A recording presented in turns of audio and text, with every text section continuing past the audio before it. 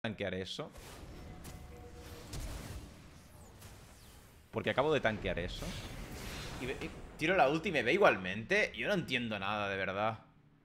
O sea, ¿por qué tanqueo la torre si hay un minion delante?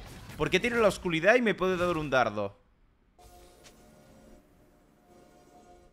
Joder, de verdad.